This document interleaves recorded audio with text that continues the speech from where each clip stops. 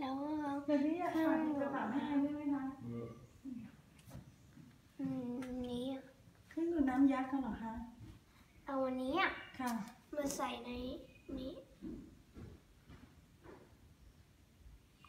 อืมก็เอามาใส่ในนี้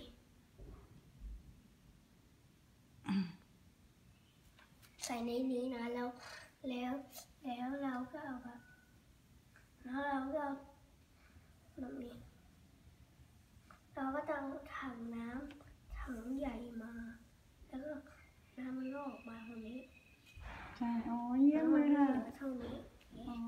ระบายสู่พื้นดินใช่ไหมคะ ใช่แล้วเด็กจะออกคนทาก็งไหนจะออกได้ อ๋อ